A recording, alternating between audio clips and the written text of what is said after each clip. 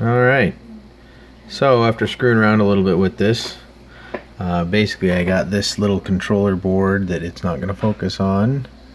There it is with the little heat sink right there. I have a little potentiometer right here. See Arduino in the back.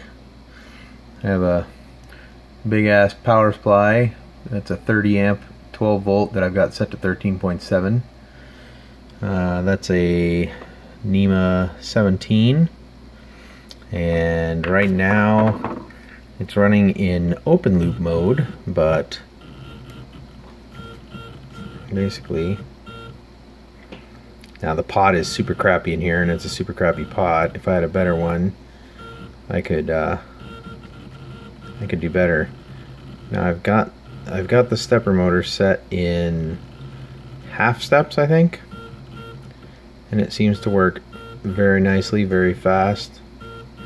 And I'm not sure how fast you'd actually need a throttle body, but I mean, that seems pretty good. But uh, if I wiggle this pot around, bad things happen. So I have to kind of make sure it holds still well. Anyway, um, yeah, I've got, let's see if I can show you the code. So I've got a, uh, ooh, focus.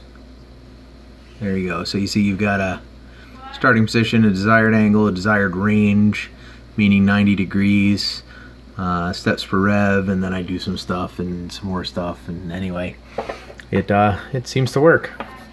So anyway, my next step is I'm going to go see if I can find a throttle position sensor and hook it up and that will give actual feedback to the uh, stepper motor. So the hardest part will be attaching that to the stepper motor and then it'll be a matter of a commanded position with the uh, potentiometer and then a feedback with the throttle position sensor.